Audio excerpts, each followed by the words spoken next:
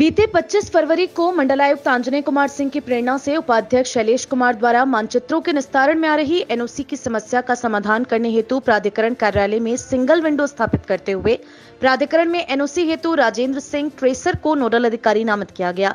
लगभग तीन माह के समय में एनओसी की पेंडेंसी को दो से घटाकर निन्यानवे पर लाना इस व्यवस्था की सफलता की कहानी बयान करता है। एमडी उपाध्यक्ष द्वारा अवगत कराया गया कि प्राधिकरण के नक्शे पास कराने हेतु आवेदकों को सामान्यतः नगर निगम राजस्व, पीडब्ल्यूडी, अग्निशमन, प्रदूषण नियंत्रण, अर्जन, सीलिंग, सिंचाई आदि विभागों के एनओसी की आवश्यकता पड़ती है। प्रायः इन विभागों से समन्वय एवं समीक्षा के अभाव में आवेदकों को कई कई माह के इंतज़ार और चक्कर लगाने पड़ते थे, जिसकी वजह से उन्हें काफ़ी कठिनाई का अनुभव होता था तथा नक्शा पास कराने में महीनों लग जाते थे। लेकिन एमडी उपाध्यक्ष द्वारा प्रत्येक संबंधित विभाग के अधिकारियों के साथ कई बैठकें की गईं तथा एनओसी हेतु प्रत्येक विभाग में एक एक नोडल अधिकारी का चिन्हांकन कराया गया, जो प्राधिकरण के नोडल अधिकारी के साथ सीधे संपर्क में रहते हैं। इस हेतु एक विशेष व्हाट्सएप ग्रुप बनाकर प्रतिदिन की लंबित एनओसी का विवरण ग्रुप में प्रेषित किया जाता है। लगातार समीक्षा एवं पारस्परिक समन्वय के ज़रिए लंबित एनओसीज की संख्या में दो तिहाई की कमी आई है। उपाध्यक्ष द्वारा लंबित एनओसी की जानकारी देते हुए आशा व्यक्त की गई कि शीघ्र ही अवशेष प्रकरणों का निस्तारण कराते हुए पेंडेंसी को न्यूनतम कर लिया जाएगा। प्राधिकरण की इस पहल पर शहर के आर्किटेक्ट एवं उद्यमियों द्वारा भी संतोष व्यक्त किया गया है। लंबित एनओसी की प्राप्ति से प्राधिकरण को मानचित्र पास करने की प्रक्रिया में तेज़ी आई है, तथा शहर में निवेश की संभावनाओं एवं नियोजित आवासीय टाउनशिप्स के विकास को भी बल मिला है।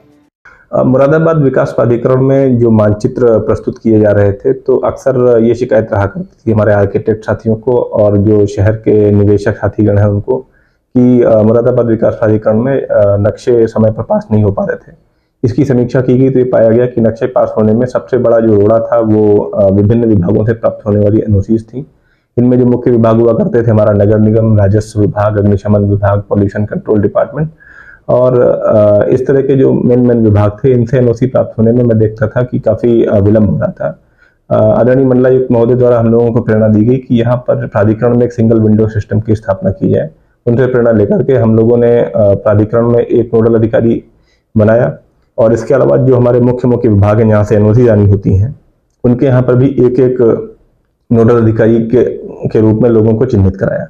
इन सभी नोडल अधिकारियों का एक ग्रुप बनाया, जिसमें पर्सनली मेरे द्वारा भी और हमारे जो नगर नियोजक हैं, उनके द्वारा लगातार इसकी मॉनिटरिंग की गई। प्रतिदिन हम लोग जो हैं, जो पेंडिंग एनओसीज हैं, उसकी सूची और संख्यात्मक विवरण डालते हैं।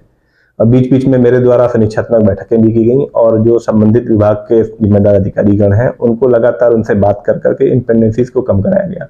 तो हम लोगों ने इस इनिशिएटिव को फरवरी में शुरू किया था। तब हमारी पेंडेंसी लगभग 300 के आसपास थी और आज की डेट में ये पेंडेंसी घट करके दो तिहाई पेंडेंसी को हम लोगों ने घटाने में सफलता नेट में हासिल की है। तो आज की डेट में आज की जो स्थिति है, छियानवे पेंडेंसी केवल बची हुई है। तो हमें पूरी उम्मीद है कि इस कार्य को हम लोग आगे बढ़ाएँगे। और जो टॉप थ्री डिपार्टमेंट है जहाँ से एनओसी आनी होती है, उनको भी हम प्रेरित करके अगले महीने में कोशिश करेंगे कि 50 के अंदर ही पेंडेंसी रहे और अनवरत जो है यही सुखद स्थिति बने।